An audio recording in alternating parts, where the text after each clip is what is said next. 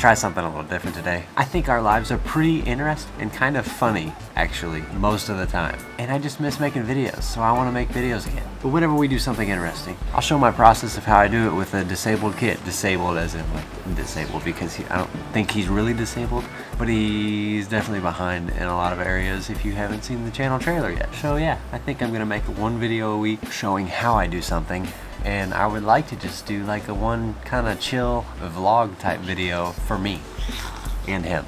Mainly so I have something to look back on as things progress because I think that would be cool to document the whole thing. I should be doing that more.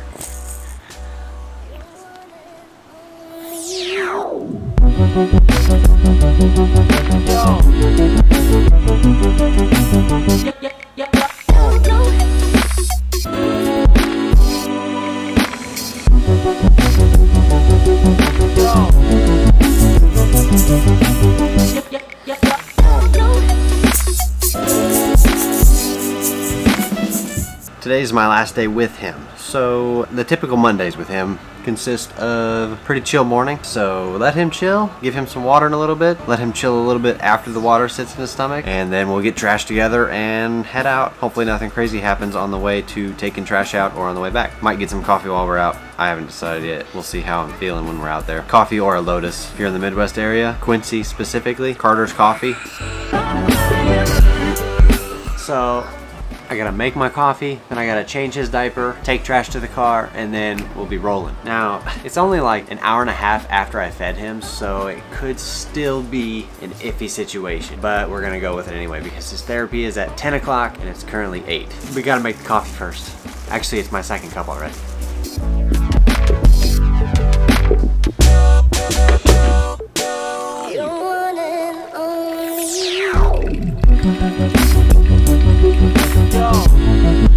Does anybody else make coffee like that? You know, use an actual coffee pot just to brew water and then pour it into a Chemex yourself?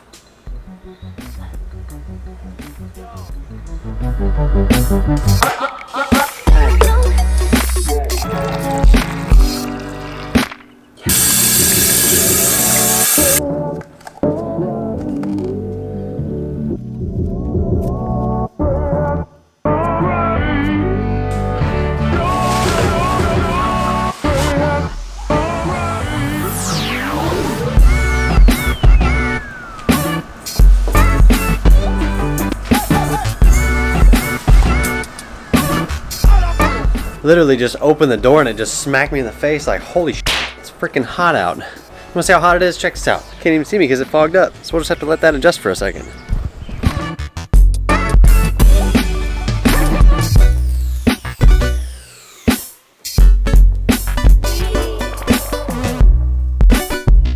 But holy crap,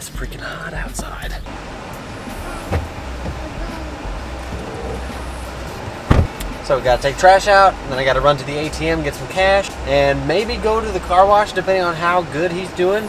We'll just see how he's doing because it all revolves around him.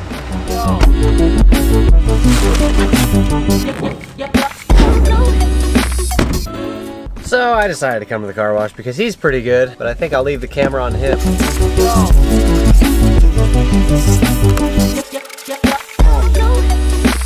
How'd he do? Pretty good? Any spit attempts? He's trying to run, so might not be good.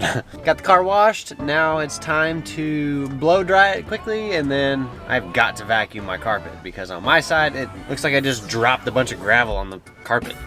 So, gotta do that.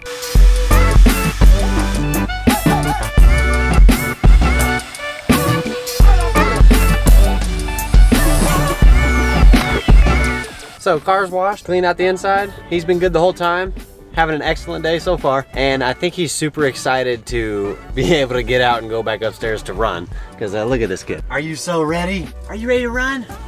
Are you ready to get out?